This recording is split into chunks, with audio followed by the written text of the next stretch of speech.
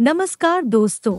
इस वीडियो में हम डिस्कस करेंगे कि डोलिमा डी थ्री कैप्सूल का उपयोग किन कंडीशंस में किया जाता है। डोलिमा डी थ्री कैप्सूल को कैसे लेना चाहिए और डोलिमा डी थ्री कैप्सूल की वजह से क्या साइड इफेक्ट्स हो सकते हैं। और यह भी डिस्कस करेंगे कि डोलिमा डी थ्री कैप्सूल को लेते समय क्या क्या सावधानियाँ रखनी चाहिए। डोलिमा डी एक ब्रांड नेम है। डोलिमा डी कैप्सूल के अंदर salt composition cholecalciferol sixty thousand international national unit होता है। विटामिन डी थ्री को पॉलिकैल्सिफेरॉल के नाम से भी जाना जाता है। डोलिमा डी थ्री कैप्सूल का उपयोग शरीर में विटामिन डी की कमी को दूर करने के लिए किया जाता है। विटामिन डी शरीर में कैल्शियम के अवशोषण में मदद करता है। शरीर में विटामिन डी की कमी होने पर भी कैल्शियम की कमी हो सकती है, क्योंकि विटामिन डी शरीर में कैल्शियम के अवशोषण में मदद करता है। और शरीर में विटामिन डी की कमी होने पर शरीर भोजन से कैल्शियम का अवशोषण शोषण अच्छी तरह से नहीं कर पाता है, जिसकी वजह से शरीर में कैल्शियम की कमी हो सकती है। हमारे शरीर में दांतों और हड्डियों को मज़बूत बनाए रखने के लिए कैल्शियम के साथ साथ विटामिन डी भी बहुत ही ज़रूरी होता है। हमारे शरीर का 99 परसेंट कैल्शियम हमारे शरीर की हड्डियों और दांतों में स्टोर होता है और बचा हुआ एक परसेंट हमारे ब्लड में होता है। जब हमारे ब्लड में कैल्शियम की कमी हो जाती है, तब हमारा शरीर हड्डियों और दांतों से कैल्शियम लेने लग जाता है, जिसकी वजह से धीरे धीरे हड्डियाँ और दांत कमज़ोर होने लग जाते हैं। हड्डियाँ कमज़ोर होने की वजह से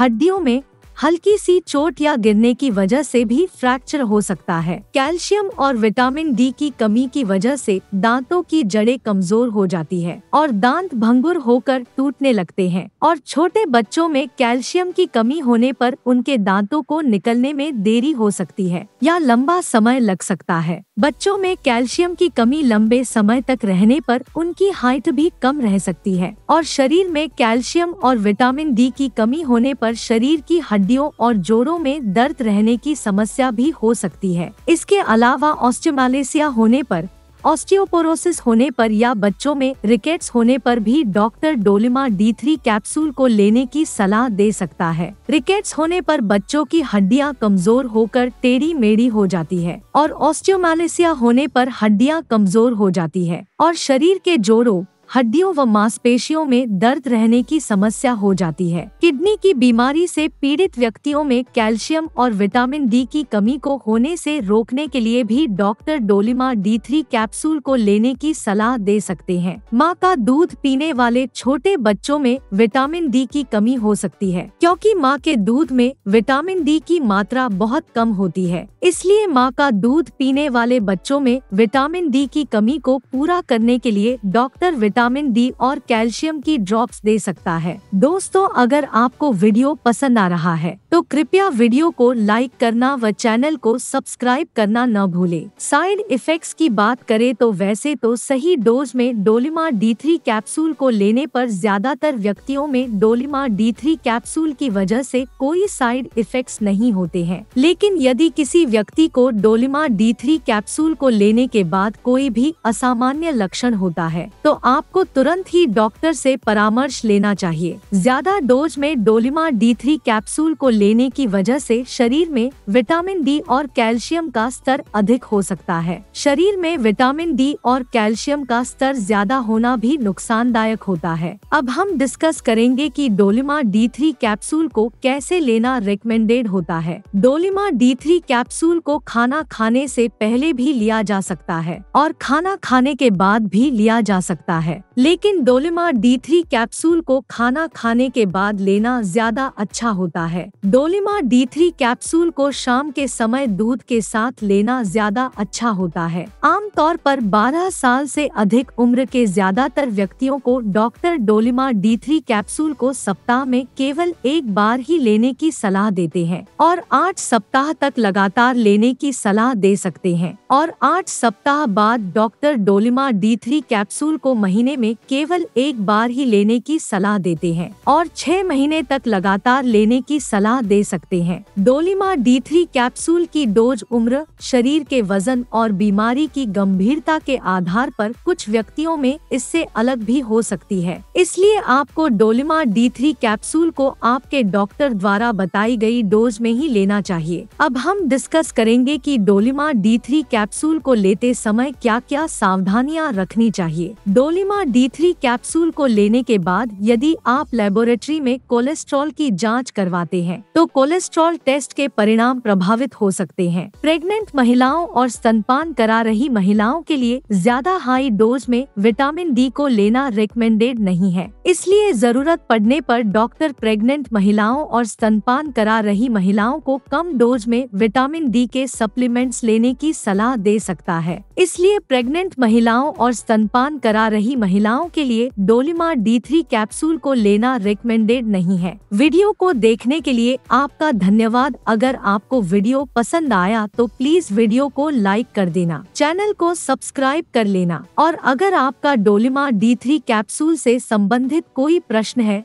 तो आप कमेंट करके पूछ सकते हैं।